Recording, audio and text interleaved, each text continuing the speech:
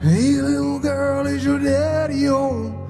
Did he just go and leave you all alone? No, no. Got a bad desire. Oh, I'm on fire. Tell me now, baby, is he good to you? Can he just do all the things I do? Take you higher?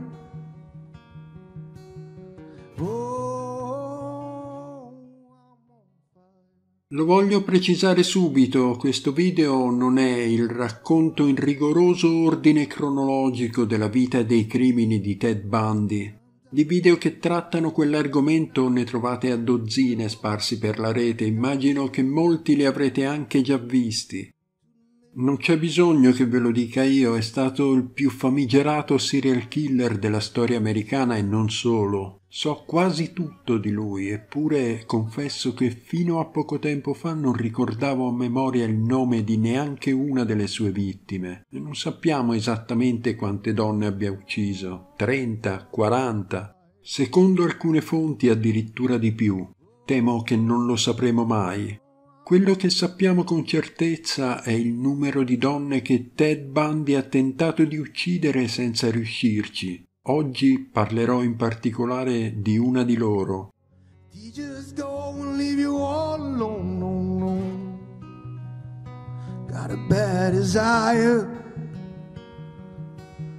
Oh.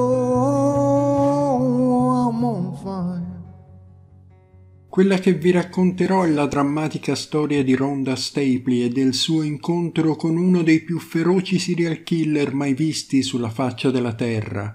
Da allora Rhonda ha passato una vita fatta di segreti conservati a lungo, di silenzi, di vergogna, di paura.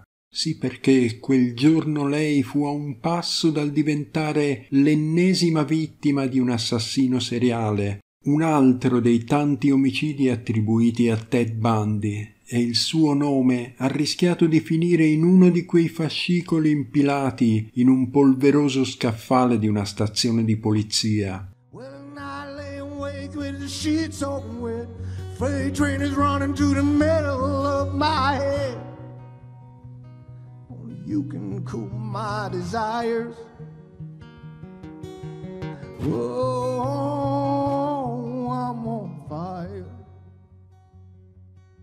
Se ci pensate, Ted Bundy è diventato sinonimo di serial killer. Sì, insomma, quando si parla di assassini seriali non si può fare a meno di parlare di lui, di citarlo. È diventato un termine di paragone, la misura stessa della ferocia di un assassino.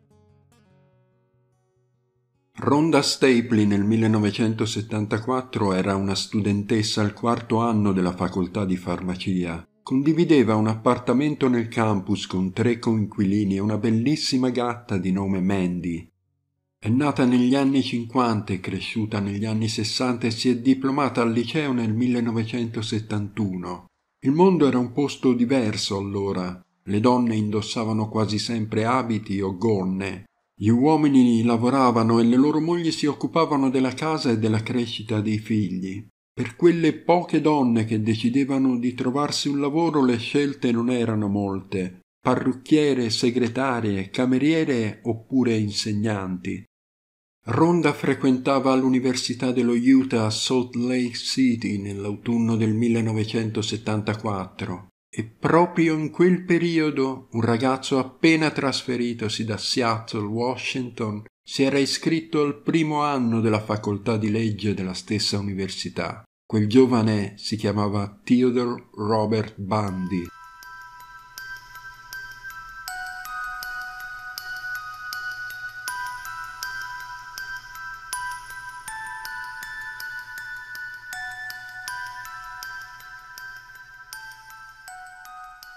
Ronda era di famiglia mormone, frequentava la chiesa, leggeva le scritture partecipava a eventi sociali benefici. Inoltre non dimenticava mai di recitare le preghiere mattina e sera. La sua vita era fatta di amore e solidarietà, non c'era spazio per cose negative. L'unica esperienza violenta avuta sino a quel momento era stata la visione di un film horror. L'incubo nel nord-ovest degli Stati Uniti era iniziato nei primi mesi del 1974. Bundy aveva colpito diverse volte e nell'estate di quell'anno erano già otto le studentesse uccise, tutte nello stato di Washington. Nessuno però sapeva che tutte quelle vittime erano legate a un unico serial killer. Nancy Wilcox fu la prima vittima nello Utah Scomparve il 2 ottobre del 1974. Fino a quel momento la sequenza delle sparizioni era impressionante. 5 gennaio, 1 febbraio, 12 marzo, 17 aprile, 5 maggio, 26 maggio, 1 giugno, 11 giugno, 17 giugno, 14 luglio, 2 ottobre,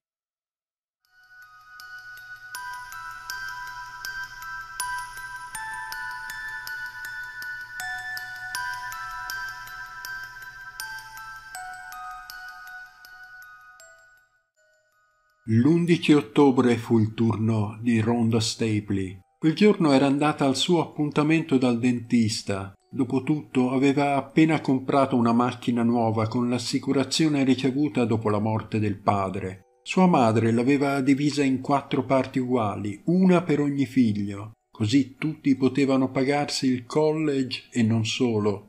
Ronda all'età di 21 anni ricevette 7.000 dollari, una bella sommetta nel 1974. Una parte di quei soldi li utilizzò per acquistare la sua Chevrolet nuova di zecca. Era felice, non tutti allora si potevano permettere una macchina nuova e lei teneva tantissimo a quell'auto al punto che preferiva tenerla ferma in un parcheggio per non rischiare di danneggiarla nel caotico traffico di Salt Lake City. Amiche e amici quando videro la Chevrolet di Ronda la guardarono incantati e con un pizzico d'invidia. Il vescovo Brown, capo della congregazione scolastica, si complimentò con lei per quella bellissima macchina. Era contenta Ronda perché dopo aver speso quei soldi, pagato l'affitto e le tasse scolastiche, le restavano ancora un po' di soldi sul conto. Quell'11 ottobre del 1974 lasciò la macchina nel parcheggio e andò a lezione. L'auto era ancora in ottime condizioni e voleva mantenerla così il più a lungo possibile. Dopo la lezione salì su un autobus e si diresse verso il centro di Salt Lake City per l'appuntamento col dentista. L'intervento non fu esattamente di routine. Ronda alla fine uscì dallo studio con diversi punti di sutura e la faccia intorpidita dall'anestesia. Nonostante tutto decise di fare una passeggiata nel bellissimo Liberty Park. Aveva appena comprato degli stivali e voleva metterli alla prova. Passò un'ora passeggiando nei sentieri del parco ricoperti di foglie rosse e arancioni. Stava bene nonostante tutto, anche se sentiva che l'anestesia stava terminando il suo effetto, così decise di tornare a casa. Ora Ronda aveva un po' di dolore alla bocca ed era infastidita dal ritardo di quel maledetto autobus che non arrivava mai. Stava per muoversi verso un'altra fermata quando una macchina si fermò.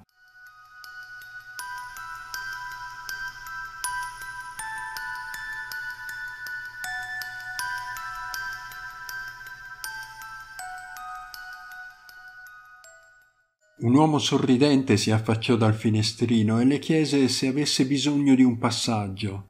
Lei gli rispose che stava andando verso la linea U, così l'uomo la invitò a salire in macchina. Ronda ci pensò un attimo, poi aprì la portiera e saltò su.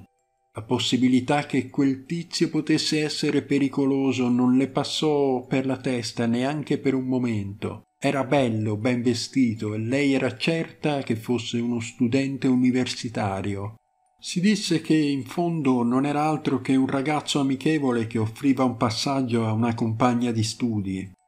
I due iniziarono la solita conversazione un po' imbarazzante che hanno i nuovi conoscenti. Mi chiamo Ronda e studio farmacia. Tu? Lui le disse di chiamarsi Ted, che era uno studente di giurisprudenza del primo anno. A lei sembrò un tipico studente universitario, aveva capelli castano scuro leggermente ricci, una bella carnagione, il suo sorriso era amichevole e invitante. Insomma, si disse che non c'era niente di cui preoccuparsi.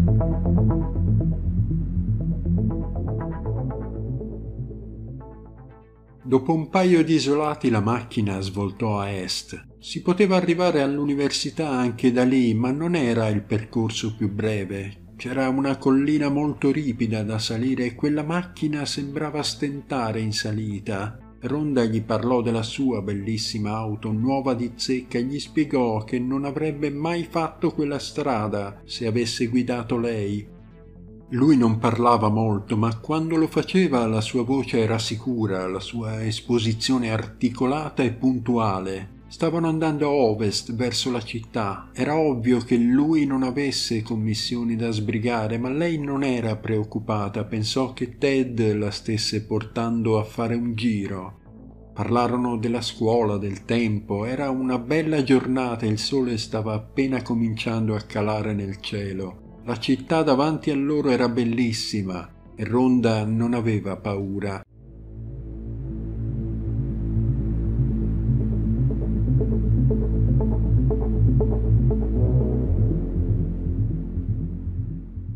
Quando raggiunsero il Perlis Canyon, la macchina avrebbe dovuto svoltare a destra in direzione del campus, ma lui girò a sinistra verso un altro canyon.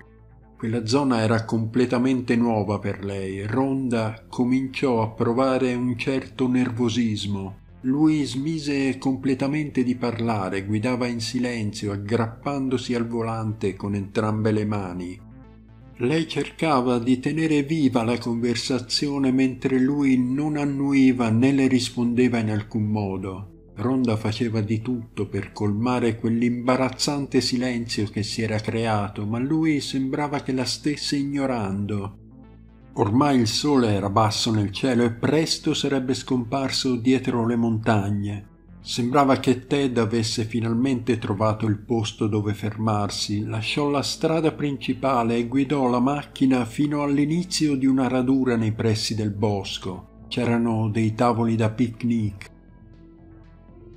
Spense il motore. A quel punto Ronda si trovava in un posto isolato dentro la macchina di uno sconosciuto. Era nervosa mentre lui si girava sul sedile per avvicinarsi a lei. Pensò d'aver sbagliato ad accettare quel passaggio. Ted aveva cambiato espressione, ora la fissava con uno sguardo ostile, minaccioso. Si sporse verso di lei e quando il suo viso fu vicino a quello della ragazza si decise a parlare. Sai cosa? Ti ucciderò.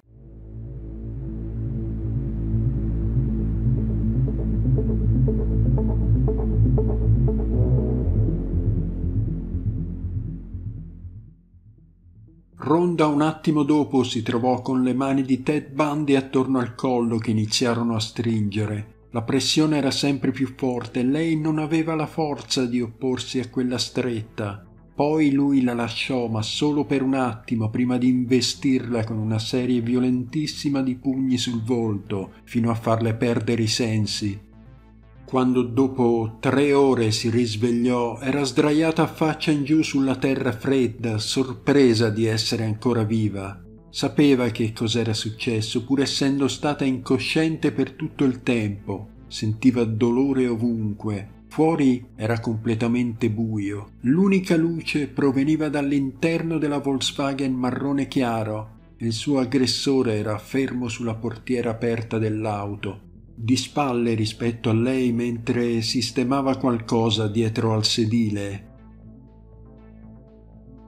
Ronda era terrorizzata e a malapena cosciente, ma l'istinto di sopravvivenza la portò ad allontanarsi di qualche metro, quasi strisciando. Poi provò ad alzarsi in piedi e tentò di scappare.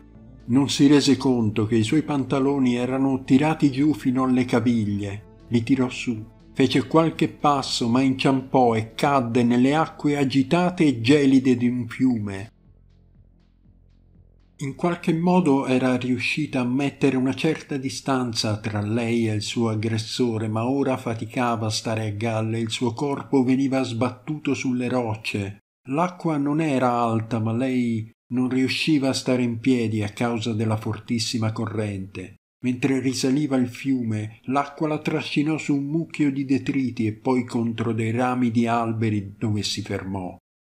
Tremava dal freddo e sbatteva i denti senza controllo. Attorno a lei era buio pesto. Pensò che quello poteva essere un vantaggio per lei. Nella testa di Ronda continuavano a girare vorticosamente mille pensieri. Si sentiva umiliata e mortificata per quello che le era successo. Pensò alla vergogna che avrebbe provato nel raccontare quella cosa ai suoi genitori o agli amici.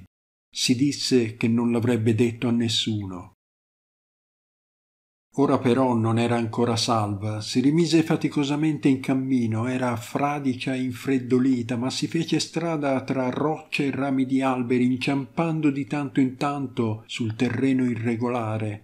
Alla fine camminò abbastanza da poter vedere le luci della città, Arrivò a una strada, ma non osò percorrerla. Sapeva che se Bandi l'avesse trovata sarebbe morta. Era stanca di camminare, superò un negozio di noleggio sci, era chiuso, ma c'erano diversi tizi all'interno di un paio di camioncini parcheggiati lì. Bevevano birra e parlavano a voce alta e ridevano. Ronda pensò che non avrebbe chiesto a quegli uomini un passaggio per tornare a casa. Dopo quello che le era appena successo, non aveva intenzione di fidarsi di una banda di sconosciuti ubriachi. Doveva andare avanti, nonostante tutto. Rimase lontano dalle strade principali e percorse strade secondarie poco illuminate. Ogni volta che vedeva un paio di fari puntati verso di lei, il suo cuore quasi si fermava si nascose alla vista, trattenendo il respiro finché il rumore del motore dell'auto non svanì in lontananza. Ad un certo punto notò una gigantesca U illuminata disegnata sulla collina sopra il campus universitario. La si poteva vedere per miglia praticamente da qualsiasi punto della valle Fu sollevata di vederla, si diresse con decisione verso quella fonte di luce. Camminò per ore mentre i suoi vestiti bagnati e gocciolanti cominciavano ad asciugarsi. Era arrabbiata con quel tizio ma anche con se stessa. Come aveva fatto a fidarsi così di uno sconosciuto? Eppure conosceva i pericoli. Perché non hai aspettato l'autobus? si disse. Era arrabbiata per il freddo che le faceva male alle ossa e le intorpidiva le mani. Parte del suo dolore era dovuto anche ai punti in bocca che il dentista le aveva messo quella mattina. Era ancora lontana dalla grande U illuminata e aveva ancora tanta strada da percorrere prima di sentirsi al sicuro e al caldo. Aveva ancora tanta paura, si guardava intorno temendo che Bandi le saltasse addosso all'improvviso decise di camminare più velocemente. Cercava di evitare i lampioni e attraversava le strade tra gli isolati. I cani abbaiavano mentre passava in mezzo ai prati. La camminata verso casa le portò via tutta la notte. La luce del giorno stava sorgendo quando salì sulla collina in fondo al campus e finalmente vide il cartellone Wonder Bread Sapeva che la meta era sempre più vicina e alla fine raggiunse il campus del college e entrò in un bagno pubblico. Era distrutta, si chinò sul lavandino e si lavò le mani, le braccia, il viso e il collo nell'acqua tiepida. L'asciugamani era caldo, lo tenne sul viso per qualche minuto, poi si guardò allo specchio. Si spaventò nel vedere la sua faccia stordita che la fissava, gonfia e piena di lividi. Fece fatica a riconoscersi. I suoi capelli erano aggrovigliati. Quella sono davvero io, si chiese. Solo allora si rese conto di aver lasciato la spazzola e lo zaino sul pavimento della Volkswagen. Bandi ora aveva il suo portafoglio, la tessera studentesca e la sua patente di guida. Lui sapeva chi era e aveva il suo indirizzo di casa, Poi fu un po' sollevata quando si ricordò che in quei documenti c'era il suo vecchio indirizzo di residenza. Sapeva però che Bandi avrebbe potuto risalire con facilità al suo attuale recapito. Quando finalmente raggiunse Medical Drive entrò nel seminterrato del North Medical Tower, il suo condominio. Temendo di incontrare persone in ascensore prese le scale. Nessuno usava le scale e pensò che fosse una buona idea, non avrebbe incontrato nessuno. Il suo appartamento era al quarto piano e i muscoli le facevano male a ogni passo. Era esausta. Sentiva le ginocchia deboli e le gambe le tremavano quando finalmente raggiunse la camera. Sperava con tutta se stessa che i suoi coinquilini se ne andassero. Era sabato mattina e spesso partivano nei fine settimana. Tirò fuori la chiave rimasta miracolosamente in fondo alla tasca e aprì silenziosamente la porta per poi richiuderla dietro di sé. Sbirciò in ogni camera da letto. Non c'era nessuno in casa. Perfetto. Finalmente qualcosa andava per il verso giusto. Voleva avvolgersi nelle coperte e dormire, ma voleva anche lavarsi ovunque. Si sentiva sporca. Riempì la vasca di acqua caldissima, prima però ricontrollò la serratura della porta d'ingresso e chiuse a chiave anche la porta del bagno. Si lasciò affondare nell'acqua e sentì quel freddo gelido lentamente abbandonare il suo corpo. Fu una sensazione bellissima. Mentre faceva il bagno ebbe il tempo di pensare e la sua mente tornò a quel momento solo poche ore prima quando tentava faticosamente di uscire dal fiume ghiacciato e aveva giurato che nessuno avrebbe mai saputo cosa gli era successo. Ero abbastanza sicura che le mie costole fossero rotte, ero piena di ferite e graffi dopo l'aggressione e anche dalla collisione con rocce e cespugli del fiume. Avevo l'occhio sinistro tumefatto, il mio labbro superiore era gonfio, i punti lungo il bordo gengivale mi facevano un male da morire, mi faceva male la gola, la mia voce era rauca, pensavo che le dita e i polsi fossero slogati, sapevo che nascondere tutto questo sarebbe stato complicato, Insomma, Ronda non voleva rivelare a nessuno quello che le era successo, voleva solo lasciarsi tutto alle spalle per non pensarci mai più. Poi accadde la cosa peggiore che potesse succedere.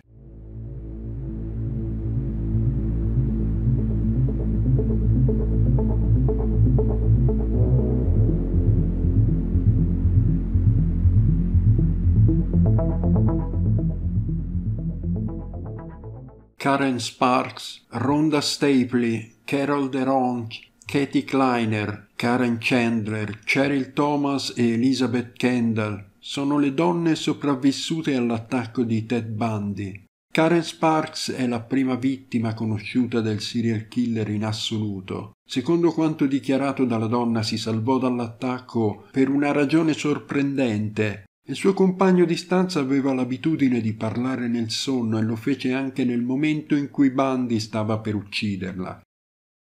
Sentire quella voce convinse il killer a fuggire prima che le togliesse la vita. Ma l'aggressione subita da Karen fu comunque brutale, venne duramente picchiata con un'asta di metallo, aggredita sessualmente e lasciata priva di sensi prima che il suo compagno di stanza scoprisse il suo corpo sanguinante 18 ore dopo l'aggressione.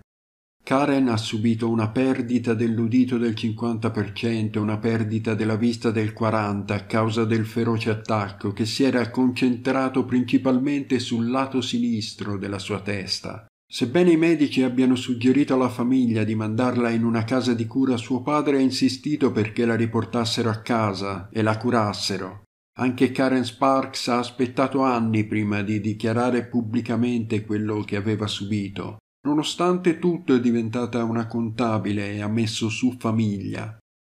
Poi ci fu l'aggressione a Rhonda Stapley. Un mese dopo fu la volta di Carol DeRonk.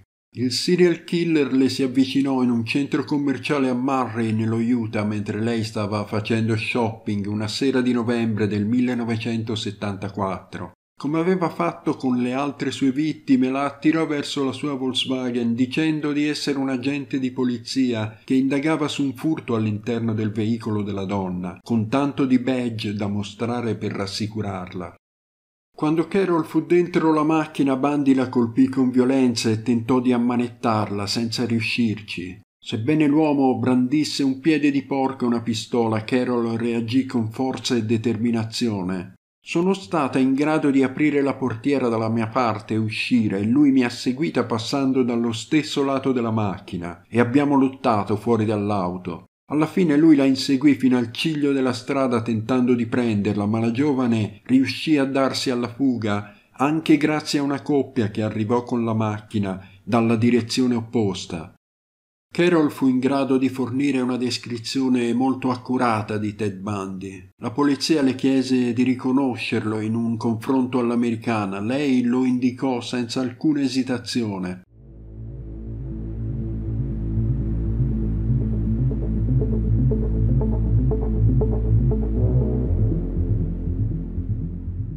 Una notte del gennaio 1978 due studentesse in una confraternita della Florida, Katie Kleiner e Karen Chandler, stavano trascorrendo una serata tranquilla nella loro camera. Poi a un certo punto decisero di andare a dormire verso le 22.30. Nelle prime ore del mattino le ragazze furono improvvisamente svegliate dal rumore di qualcuno che aveva sfondato la porta della loro stanza.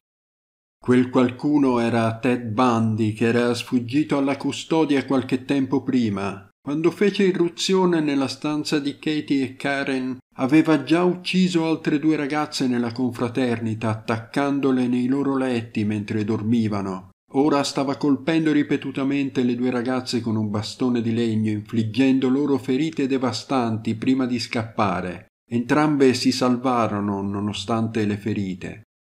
Incredibilmente il massacro nella casa della confraternita non riuscì a placare la sete di sangue di Bandi. A pochi isolati di distanza fece irruzione nell'appartamento seminterrato di Cheryl Thomas, una studentessa di danza che quella sera era stata in discoteca. La ragazza tornò a casa verso mezzanotte, mangiò un panino al burro di arachidi, guardò un po' di televisione e poi andò a dormire.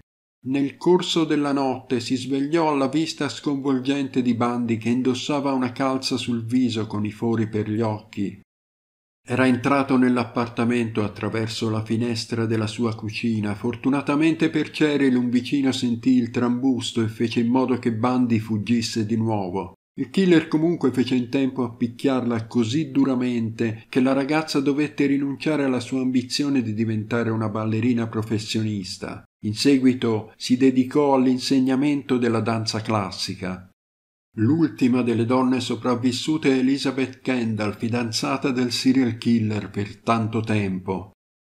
La donna ha scritto un libro pubblicato nel 1981 e rilasciato interviste anche recentemente. In quelle 183 pagine descrive in dettaglio la notte in cui lei e Bundy si incontrarono in un bar di Seattle nel 1969 e la relazione tumultuosa che ne seguì. Il libro si conclude con la telefonata in lacrime che Bundy le avrebbe fatto dal carcere prima della sua morte. Quelle memorie furono rese pubbliche quando la donna aveva già 36 anni e Bundy era nel braccio della morte. Secondo le cronache lui avrebbe tentato di ucciderla un paio di volte.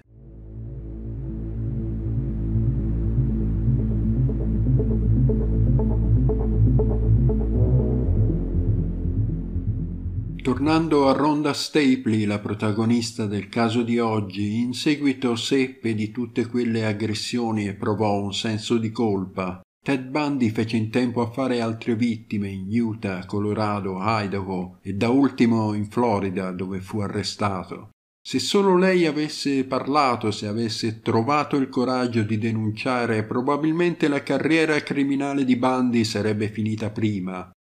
Ma non era così facile, la sua educazione era un ostacolo, poi Ronda temeva moltissimo il giudizio di parenti e amici. Sì, perché lei, contrariamente a Carol Darong, era stata violentata e la Chiesa mormone allora non era molto comprensiva con le donne che avevano subito uno stupro. Che cosa avrebbero detto di lei? Quando Ted Bundy fu condannato alla sedia elettrica e poi giustiziato il 24 gennaio 1989, Ronda Stapley approvò quella sentenza nonostante in linea di principio fosse contraria alla pena di morte. Alla fine la donna si è laureata e ha avuto una brillante carriera come farmacista, è sposata e madre, non soffre più come prima dello stress da disturbo post-traumatico che l'ha accompagnata per decenni. In un'intervista del 2016 ha detto di aver ripreso in mano la sua vita quasi completamente. Voi che avreste fatto nei panni di Ronda? Avreste denunciato? Hey little girl, is your daddy home? Did he just go and leave you all alone? No, no. Got a bad desire. Oh, I'm on fire. Tell me now, baby, is he good to you? Can he just do all the things I do? Take you higher? Oh.